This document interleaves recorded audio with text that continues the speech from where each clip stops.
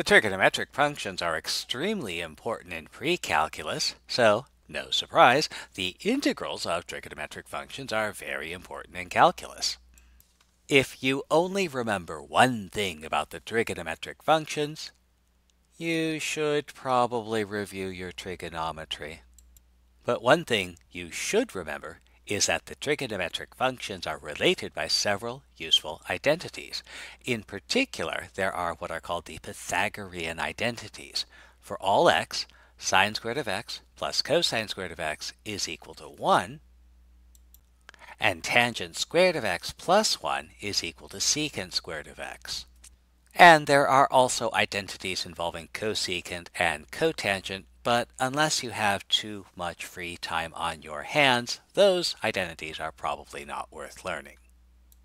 So let's consider the integral of cosine cubed of x. So what do we know?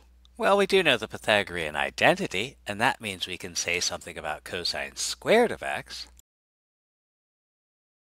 And so this integral is the same as the integral of 1 minus sine squared of x times cosine x. And we can fall back on a u substitution.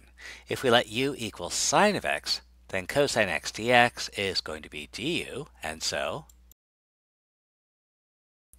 and that gives us antiderivative u minus u cubed over 3, putting everything back where we found it, and including our constant of integration.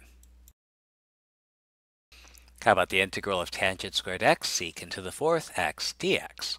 We'll use our Pythagorean identity, and, eh, what the heck, we can solve this for tangent squared of x. And so we can substitute that in, but it's not entirely clear what we should do at this point. While we might get this to work, let's try something else and see if we can do this more easily. So let's flip that Pythagorean identity around and use secant squared equals tangent squared x plus 1. And since this is a secant to the fourth, that's really secant squared squared, so we'll make that substitution. And again, it's not entirely clear how we want to proceed from this point. Well, Third time's a charm.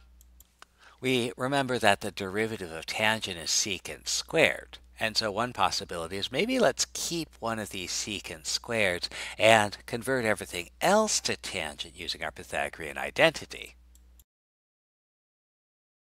And now we can try a u substitution with u equals tangent x, and du is secant squared x dx. Now we can integrate, and putting everything back where we found it gives us our definite integral.